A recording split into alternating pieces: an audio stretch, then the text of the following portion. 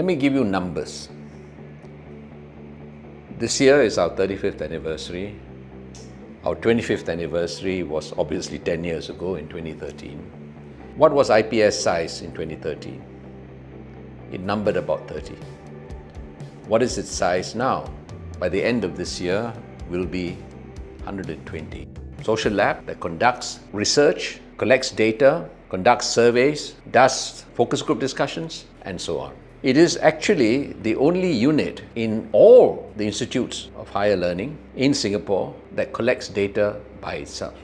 What Policy Lab suggests or indicates is a movement in another direction. Not merely talking about and researching policy, but also experimenting with policy, doing policy, running pilots, figuring out what works, what doesn't work.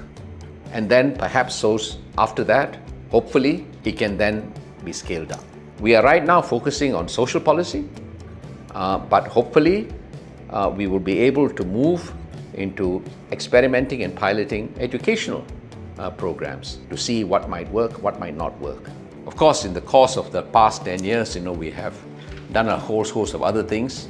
The SR Nathan Fellowship has become a major event in the intellectual calendar, if you like. The Singapore Perspectives Conference that IPS organizes annually every January and right through the COVID period, it went virtual, is another major you know, event in the, our intellectual calendar.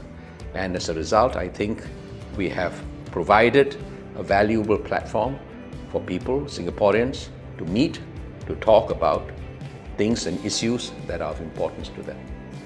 If you want, I may give you an example of the kind of uh, work that I'm proudest of. I think um, they took about three, four years to complete this work, which was to look at the living conditions, the working conditions of platform workers. It was a very original piece of research that we initiated, and our young researchers, our research assistants, our research associates became very, very enthusiastic about this project, gave of themselves, and I think IPS made a very valuable contribution to government policy where platform workers are concerned.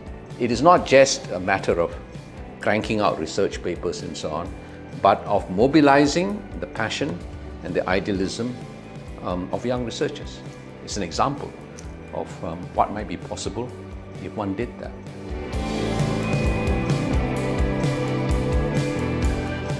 I hope IPS can be a center for research into public policy, but also in addition to that, that IPS can be a center for experimenting, for piloting certain possible policy solutions, which then can be scaled up by um, government agencies if they are found to be useful.